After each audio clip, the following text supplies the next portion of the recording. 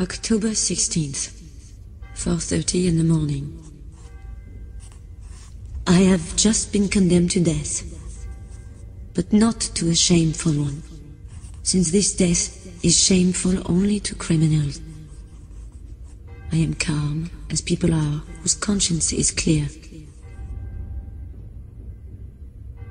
I know how much my little boy must have made you suffer. Forgive him, my dear sister. Remember how young he is, and how easy it is to make a child say whatever one wants, to put words he does not understand into his mouth. I send you my heartfelt love, and also to my poor, dear children. How heartbreaking it is to leave them forever.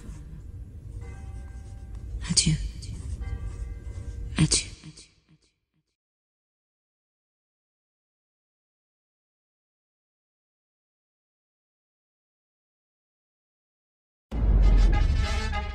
Thank you.